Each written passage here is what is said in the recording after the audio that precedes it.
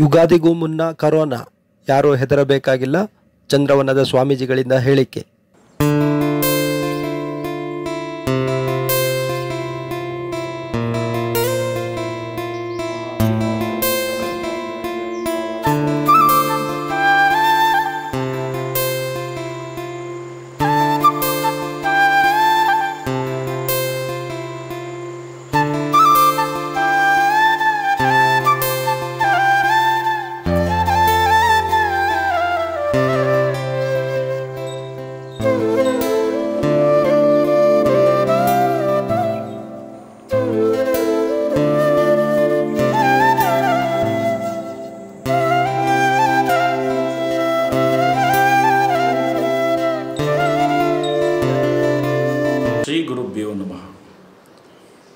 ಹೊಸ ವರ್ಷ ಬರ್ತಾ ಇದೆ.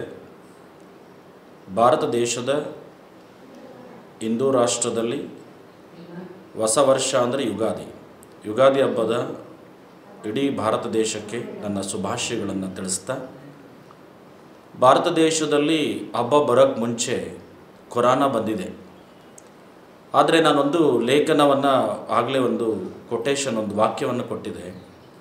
ತಂದೆ ತಾಯಿಗಳಿಗೆ ಭಯಭೀತಿ ಪಡಲಿಲ್ಲ. ಗುರು ದೈವಕ್ಕೆ ಭಯಭೀತಿ ಪಡಲಿಲ್ಲ. ಕೊರೋನಾ ರೋಗವನ್ನು ಕಂಡು ಭಯಭೀತಿ ಪಡೆದು ಬಾಯಿ ಮುಚ್ಚಿ ಮನೆ ಸೇರುವಂತಾಯಿತಲ್ಲ ಅಂತ ಒಂದು ಕೊಟೇಶನ್ ಕೊಟ್ಟಿದ್ದೆ ನಾನು. ಗಾಂಧೀಜಿಯವರು ಅವತ್ತೇ ಹೇಳಿದರು, ಕಿವಿ ಮುಚ್ಚಿರಬೇಕು, ಬೇರೆ ವಿಚಾರಗಳಿಗೆ ಕಿವಿ ಕೊಡಬಾರ್ದು. ಕಣ್ಣು ಮುಚ್ಚಿರಬೇಕು, ಬೇರೆ ವಿಚಾರವನ್ನು ನೋಡಬಾರ್ದು. ಬೇರೆಯವ್ರ ವಿಚಾರವನ್ನು ನಾಲ್ಗೆಲ್ಲಿ ಮಾತಾಡಬಾರ್ದು ಅಂತೇಳಿ ಮೂರು ಮಂಗಗಳನ್ನು ಕಿವಿ ಮುಚ್ಚೋದು, ಬಾಯಿ ಮುಚ್ಚೋದು ಮತ್ತು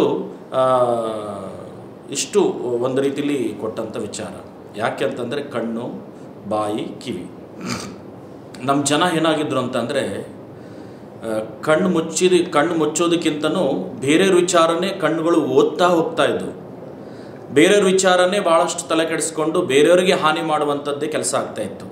ಕಿವಿಗಳು ತನ್ನ ವಿಚಾರಗಳನ್ನು ಕೇಳದೆ, ಕೀರ್ತನೆಗಳನ್ನು ಕೇಳದೆ, ಒಳ್ಳೆ ಅಭಿರುಚಿಯಾದಂಥ ಗಾಯನವನ್ನು ಕೇಳದೆ, ಬಹುಶಃ ಕೆಟ್ಟವ್ರ ವಿಚಾರ ಕೇಳಿ ಇನ್ನೂ ಕೆಟ್ಟ ವಿಚಾರಗಳನ್ನು ನಾಲ್ಗೆ ಮುಖಾಂತರ ನಾವು ಎಲ್ರಿಗೂ ಹೇಳುವಂಥದ್ದು ಆಗ್ತಿತ್ತು.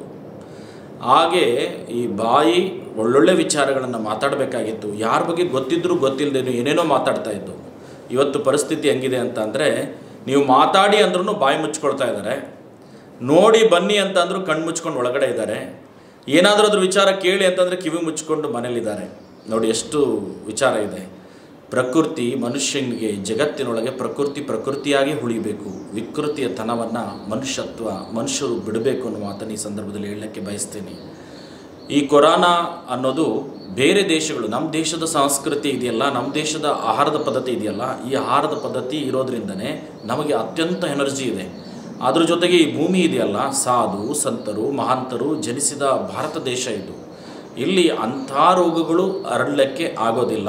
ಈಗಾಗಲೇ ಕೇಂದ್ರ, ರಾಜ್ಯ ಸರ್ಕಾರಗಳು ಮುಂಜಾಗೃತಿಯನ್ನು ತಗೊಂಡಿರುವಂಥದ್ದು ಸ್ವಾಗತಾರ್ಹ. ಜೊತೆಗೆ ಏನು ಅಂತ ಅಂದರೆ ನಾವು ನಮ್ಮ ಜನತೆಗೆ ನಾನು ಹೇಳೋದಿಷ್ಟೇ ನಿಮ್ಮ ನಿಮ್ಮ ಲೋಕದ ಡೊಂಕನ್ನು ನೀವೇಕೆ ತಿದ್ದಿವಿರಿ ನಿಮ್ಮ ನಿಮ್ಮ ಮನವ ಸಂತೈಸಿಕೊಳ್ಳಿ, ನಿಮ್ಮ ನಿಮ್ಮ ತನುವ ಸಂತೈಸಿಕೊಳ್ಳಿ. ನೆರೆಮನೆಯರ ದುಃಖಕ್ಕೆ ಅಳುವರ ಮೆಚ್ಚಲ ನಮ್ಮ ಕೂಡಲ ಸಂಗಮ ದೇವ ಬಸವಣ್ಣ ಹೇಳ್ತಾರಲ್ಲ, ಹಾಗೆ ನಿಮ್ಮ ಮನೆಯ ನಿಮ್ಮ ಸ್ವಚ್ಛ ಮಾಡಿಕೊಳ್ಳಿ. ನಿಮ್ಮಲ್ಲಿ ನೀವು ಆಹಾರವನ್ನು ಶುದ್ಧವಾಗಿ ಇಟ್ಟುಕೊಂಡು ಬಿಸಿ ಆಹಾರವನ್ನು ತಗೊಳ್ಳಿ. ನೀವು ಪರಿಪಕ್ವವಾದಂಥ ಯಾವುದೇ ಆರೋಗ್ಯ ಕೆಡಿಸ್ಕೊಳ್ಳದಂತೆ ಆರೋಗ್ಯಕರವಾದಂಥ ಆಹಾರ ಆರೋಗ್ಯಕರವಾದಂಥ ವಾತಾವರಣ, ಆರೋಗ್ಯಕರವಾದಂಥ ಸುತ್ತಮುತ್ತ ಪರಿಸರ, ಇವೆಲ್ಲ ಸ್ವಚ್ಛ ಇಟ್ಟುಕೊಂಡು ಸ್ವಚ್ಛವಾಗಿ ನೋಡಿಕೊಂಡ್ರೆ ಸಾಕು. ಅವರವರು ಸ್ವಚ್ಛವಾಗಿ ನೋಡಿಕೊಂಡ್ರೆ ಈ ಒಂದು ರೋಗ ಬರಲಿಕ್ಕೆ ಸಾಧ್ಯ ಆಗೋದಿಲ್ಲ. ಯಾರೂ ಭಯ ಪಡಬೇಡ್ರಿ ಯಾಕೆ ಅಂತಂದರೆ ರೋಗ ಬರೋಕ್ಕೆ ಮುಂಚೆನೇ ಅರ್ಧ ಸತ್ತೋಗ್ತಾ ಇದ್ದಾರೆ ಜನ ಭಯದಿಂದನೇ. ಭಯ, ಭೀತಿ ಅನ್ನೋದು ಇದೆಯಲ್ಲ, ಇದು ಸಾಯಿಸು, ಸಾಯೋದಕ್ಕಿಂತ ಅತೀ ವೇಗವಾಗಿರೋದು ಭಯ ಮತ್ತು ಭೀತಿ. ಇದನ್ನು ಅವಶ್ಯಕತೆ ಇಲ್ಲ ಅಂತ ನಾನು ಹೇಳಲಿಕ್ಕೆ ಬಯಸ್ತೀನಿ. ಜಾಗೃತಿಯಾಗಿ ಸ್ವಚ್ಛವಾಗಿದ್ದರೆ ಸಾಕು. ಆದರೆ ಆತ್ಮವಿಶ್ವಾಸವನ್ನು ಇಟ್ಕೋಬೇಕು ನಾವು ಅಯ್ಯೋ ಬಂದ್ಬಿಡ್ತದ, ನಾವು ಭಯ ಭಯ ಭಯ ಭಯ ಮಾಡಿಕೊಂಡು ಇರಕ್ಕೆ ಇರು, ಇರಲಿಕ್ಕೆ ಬೇಡ ಅಂತ ಹೇಳ್ತೀನಿ. ಕರ್ನಾಟಕದ ಜನತೆ, ಯಾವತ್ತೂ ಭಯ ಬೀಳಬೇಡಿ. ಈ ಭಾರತ ದೇಶ ಎಲ್ಲರನ್ನ ರಕ್ಷಣೆ ಮಾಡುವಂಥ ರಾಷ್ಟ್ರ ಎಲ್ಲರಿಗೂ ಸಹಾಯ ಮಾಡುವಂಥ ರಾಷ್ಟ್ರ ನಮ್ಮ ದೇಶ ಆಗಿದೆ. ಹಾಗಾಗಿ ನಿಶ್ಚಿಂತೆಯಿಂದ ಇರಿ ಅಂತ ಈ ಮುಖಾಂತರ ಹೇಳಲಿಕ್ಕೆ ಬಯಸ್ತೀನಿ. ನಮ್ಮ ಚಂದ್ರವನ ಆಶ್ರಮದಲ್ಲಿ ಪ್ರತಿ ಹುಣ್ಣಿಮೆಯೂ ಸಹ ಸಾಮೂಹಿಕವಾಗಿ ಸಂಗೀತವನ್ನು ಕೇಳ್ತಾ, ಕಾವೇರಿಗೆ ಗ, ಕಾವೇರಿ ಆರತಿಯನ್ನು ಮಾಡಿ, ನಂತರ ಎಲ್ಲರಿಗೂ ನಾವೇ ಕೈ ತುತ್ತುಕೊಟ್ಟು ಜೊತೆಯಲ್ಲಿ ಕೂತ್ಕೊಂಡು ಪ್ರಸಾದ ಮಾಡುವಂಥ ಚಂದ್ರನ ಬೆಳಕಲ್ಲಿ ಈ ಕಾರ್ಯಕ್ರಮವನ್ನು ನಾವು ಮಾಡ್ಕೊಂಡು ಬರ್ತಾ ಇದ್ದೀವಿ ಇನ್ನೊಂದು ಕಾರ್ಯಕ್ರಮ ಜೀವನ ಸಮೃದ್ಧಿ ಆರ್ಟ್ ಆಫ್ ಹ್ಯಾಪಿ ಲಿವಿಂಗ್ ಅಂತ.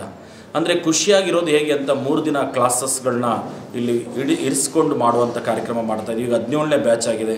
ಹದಿನೆಂಟನೇ ಬ್ಯಾಚು ಹತ್ತು, ಹನ್ನೊಂದು, ಹನ್ನೆರಡು ಏಪ್ರಿಲ್ ತಿಂಗಳಲ್ಲಿ ಮಾಡ್ತಾ ಇದ್ದೀವಿ ಹದಿನೆಂಟನೇ ಬ್ಯಾಚು ಇಲ್ಲಿ ಏನಂತಂದರೆ ಮನುಷ್ಯ ಹೆಂಗಿರಬೇಕು, ಯಾವ ಥರ ಆಹಾರ ತಗೋಬೇಕು, ಯಾವ ಥರ ಬದುಕಬೇಕು ಅನ್ನೋದನ್ನು ನಾವು ತಿಳಿಸುವಂಥ ಒಂದು ಪ್ರಯತ್ನ ಮಾಡ್ತಾ ಇದ್ದೀವಿ ಮತ್ತು ಮೇ ತಿಂಗಳಲ್ಲಿ ಮಕ್ಕಳಿಗೆ ಅಪ್ಪ, ಅಮ್ಮ ಅಂತ ಅಂದರೆ ಭಾಳ ಭಯ ಭಕ್ತಿ ಇತ್ತು ಮೊದಲು.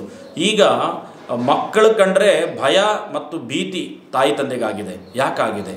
ಮಕ್ಕಳು ನೋಡಿದ್ರೆ ಭಯ ತಾಯಿಗೆ. ಹಾಗಾಗಿ ಆ ಒಂದು ಮಕ್ಕಳಿಗೂ ಒಂದು ಒಳ್ಳೆಯ ಸಂಸ್ಕಾರ ಕೊಡಬೇಕು ಅಂತ ಮೇ ತಿಂಗಳಲ್ಲ ಮಕ್ಕಳಿಗೋಸ್ಕರ ಒಂದು ಕಾರ್ಯಾಗಾರವನ್ನು ನಾವು ಮಾಡ್ತಾ ಇದ್ದೀವಿ. ಜೊತೆಗೆ ನವರಾತ್ರಿಯ ಸಂದರ್ಭ ನಮ್ಮ ಚಂದ್ರವನ ಆಶ್ರಮದಲ್ಲಿ ಸಾವಿರಾರು ಹೆಣ್ಮಕ್ಳಿಗೆ ಅಣ್ಣ ಇರೋಲ್ಲ, ಅಪ್ಪ ಇರಲ್ಲ, ಮತ್ತು ಮಡ್ಲಕ್ಕಿ ತೊಗೊಳಕ್ಕಾಗಿರೋದಿಲ್ಲ. ಎಲ್ಲರೂ ಹಬ್ಬಗಳ ಒಂದು ಸಂದರ್ಭದಲ್ಲಿ ಗಣೇಶ ಗೌರಿಯಲ್ಲಿ ಬಾಗಿನ ಕೊಡುವಂಥ ಸಂದರ್ಭ ಆಗ್ಬೋದು. ಮುತ್ತೈದೆಯರಿಗೆ ಗೌರಿ ಪೂಜೆಯ ಸಂದರ್ಭದಲ್ಲಿ ಭಾಗನ ಕೊಡುವಂಥದ್ದಾಗ್ಬೋದು ಮಡ್ಲಕ್ಕಿ ಕೊಡುವಂಥದ್ದಾಗ್ಬೋದು ಇದರಲ್ಲೆಲ್ಲ ವಂಚಿತ ಆಗಿರ್ತಾರೆ. ಹಾಗಾಗಿ ಶ್ರೀಮಠ ಐದು ಸಾವಿರ ಮಹಿಳೆಯರಿಗೆ ಮಡ್ಲಕ್ಕಿ ಕೊಡುವಂಥ ಕಾರ್ಯಕ್ರಮ ನವರಾತ್ರಿಯಲ್ಲಿ ನಾವು ಮಾಡ್ತಾ ಇದ್ದೀವಿ. ಮತ್ತು ಜೊತೆಗೆ ಅಮಾವಾಸ್ಯೆ ಕಾರ್ಯಕ್ರಮದಲ್ಲಿ ಇಲ್ಲಿ ಕಾವೇರಿ ನದಿಯಲ್ಲಿ ಮಿಂದು ಬಹುಶಃ ಭಕ್ತಾದಿಗಳು ಕಾಶಿಚಂದ್ರಮೌಳೇಶ್ವರನಲ್ಲಿ ಇನ್ನೂರ ಎಂಬತ್ತೈದು ವರ್ಷದ ದೇವಸ್ಥಾನ ದರ್ಶನ ಮಾಡಿ ಆಶೀರ್ವಾದ ತಗೊಂಡು ಹೋಗುವಂಥ ಕಾರ್ಯಕ್ರಮಗಳು ಆಗ್ತಾ ಇದೆ. ಮತ್ತು ಜೊತೆಗೆ ಬೇರೆ ಬೇರೆ ಕಾರ್ಯಕ್ರಮಗಳನ್ನು ಅಂಧ ಮಕ್ಕಳನ್ನು ಕರೆಸಿ ಅವರಿಗೆ ಧೈರ್ಯವನ್ನು ಹೇಳುವಂಥದ್ದು, ಅನಾಥ ಮಕ್ಕಳನ್ನು ಕರೆಸಿ ಧೈರ್ಯವನ್ನು ಹೇಳುವಂಥದ್ದು ಊಟ ಹಾಕಿಸಿ, ಮತ್ತು ನಮ್ಮ ಯೋಗಿ ಮಡಿಲು ಕಾರ್ಯಕ್ರಮವನ್ನು ಇಟ್ಕೊಂಡು ಹಳ್ಳಿ ಕಾಡು ಕಾಡು ಪ್ರದೇಶ ಜನಕ್ಕೆ ಹೋಗಿ ಮೆಡಿಕಲ್ ಕ್ಯಾಂಪ್ಗಳಾಗ್ಬೋದು, ವಸ್ತ್ರದಾನ ಆಗ್ಬೋದು, ಇನ್ನೂ ಅನೇಕ ಕಾರ್ಯಕ್ರಮಗಳನ್ನ ರೂಪಿಸುವಂಥದ್ದಾಗ್ಬೋದು. ಈ ಥರದನ್ನ ಈ ಚಂದ್ರವನ ಆಶ್ರಮದಲ್ಲಿ ನಾವು ಮಾಡ್ಕೊಂಡು ಬರ್ತಾ ಇದ್ದೀವಿ. ಬೇಬಿ ಗ್ರಾಮ ಮೂಲ ಮಠದಲ್ಲಿ ಶಿಕ್ಷಣ ಇದೆ, ದಾಸೋಹ ಇದೆ. ಮತ್ತು ಇಲ್ಲೂ ತ್ರಿಕಾಲ ದಾಸೋಗ ಕಾರ್ಯಕ್ರಮವೂ ಪ್ರತಿದಿನವೂ ಭಕ್ತಾದಿಗಳಿಗೆ ಇದೆ. ಮತ್ತು ಬೇಬಿ ಗ್ರಾಮದಲ್ಲಿ ಕ, ಬಹಳ ಹಳ್ಳಿ ಗ್ರಾಮಾಂತರ ಪ್ರದೇಶದ ಮಕ್ಕಳಿಗೆ ಒಂದು ವಿಶೇಷವಾದ ಶಿಕ್ಷಣವನ್ನು ಈಗಾಗಲೇ ನಾವು ನೀಡ್ತಾ ಇದ್ದೀವಿ. ಭಾರತದಲ್ಲಿ ಎಸ್ ಎಲ್ ಸಿ ಪಾಸಾದವರಿಗೆ ಗೋಲ್ಡ್ ಮೆಡಲ್ ಕೊಡುವಂಥದ್ದು ಯಾವ ಶಾಲೆಯಲ್ಲೂ ಇಲ್ಲ. ನಮ್ಮ ಶಾಲೆಯಲ್ಲಿ ಗೋಲ್ಡ್ ಮೆಡಲ್ ಕೊಟ್ಟು, ಒಂದು ಲ್ಯಾಪ್ಟಾಪ್ ಕೊಟ್ಟು ಐದು ಸಾವಿರ ಚೆಕ್ಕನ್ನು ಕೊಡುವಂಥ ಒಂದು ಕಾರ್ಯಕ್ರಮವನ್ನು ಎಸ್ ಎಲ್ ಸಿ ಮಕ್ಕಳಿಗೆ, ಗ್ರಾಮಾಂತರ ಪ್ರದೇಶದ ಮಕ್ಕಳನ್ನೇ ಉತ್ತಮ ಮಕ್ಕಳನ್ನಾಗಿ ದೇಶದ ಸತ್ಪ್ರಜೆಯಾಗಿ ಮಾಡಬೇಕು ಅನ್ನೋ ಒಂದು ಯೋಜನೆಯನ್ನು ಇಟ್ಕೊಂಡಿದ್ದೀವಿ. ಅಲ್ಲಿ ಹಾಸ್ಟೆಲ್ ವ್ಯವಸ್ಥೆಗಳು ಸಹ, ವಸತಿ ವ್ಯವಸ್ಥೆಗಳು ಇದೆ. ಅಲ್ಲಿ ಹಿರಿಯ ಶ್ರೀಗಳು ನೂರ ಹದಿಮೂರು ವರ್ಷ ಬದುಕಿದ ತಪಸ್ವಿಗಳು, ಶತಾಯುಷಿಗಳು ಅವರು ಪರಮಪೂಜ್ಯರ ಗದ್ದಿಗೆ ಇದೆ. ಅವ್ರದ್ದು ಸಹ ಆಗಸ್ಟ್ ಹದಿಮೂರು ವಿಶೇಷವಾದ ಒಂದು ಜಾತ್ರಾ ಮಹೋತ್ಸವವನ್ನು, ರಥೋತ್ಸವವನ್ನು ಕಾರ್ಯಕ್ರಮ ಹಮ್ಮಿಕೊಂಡಿರ್ತೀವಿ. ಹೀಗೆ ಪ್ರತಿ ಹುಣ್ಣಿಮೆ ಕಾರ್ಯಕ್ರಮದಲ್ಲಿ ಅಲ್ಲಿ ಬೆಳಗ್ಗೆ ವಿಶೇಷ ಬಹಿರಂಗ ಶಿವಪೂಜೆ ಇರ್ತದೆ. ಇನ್ನೂ ಅನೇಕ ಕಾರ್ಯಕ್ರಮನ ಶ್ರೀಮಠ ಹಮ್ಮಿಕೊಳ್ತಾ ಇದೆ. ಅದ್ರ ಜೊತೆ ಭಕ್ತಾದಿಗಳು ಸಹಕರಿಸ್ತಾ ಇದ್ದಾರೆ. ಇನ್ನೂ ಶ್ರೀಮಠ ಆಶೆಯನ್ನು ಇಟ್ಕೊಂಡಿದೆ. ಈ ನಾಡಿಗೆ, ರಾಷ್ಟ್ರಕ್ಕೆ ಅನೇಕ ಸೇವೆ ಮಾಡಬೇಕು ಅಂತೇಳಿ.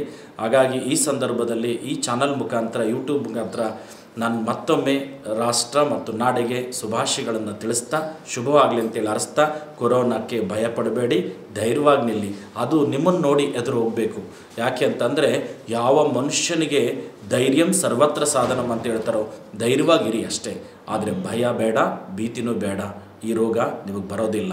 ಈಗಾಗಲೇ ಕೇಂದ್ರ, ರಾಜ್ಯ ಸರ್ಕಾರ ಮುಂಜಾಗೃತಿಯಾಗಿ ಎಲ್ಲವನ್ನ ತಗೊಂಡಿದೆ, ನಿರ್ಧಾರ ತಗೊಂಡಿದೆ. ಅದಕ್ಕೆ ಎಲ್ಲರೂ ಬದುಕಿ ಖುಷಿಯಾಗಿರಿ ಅಂತ ಹೇಳಲಿಕ್ಕೆ ಬಯಸ್ತೀನಿ.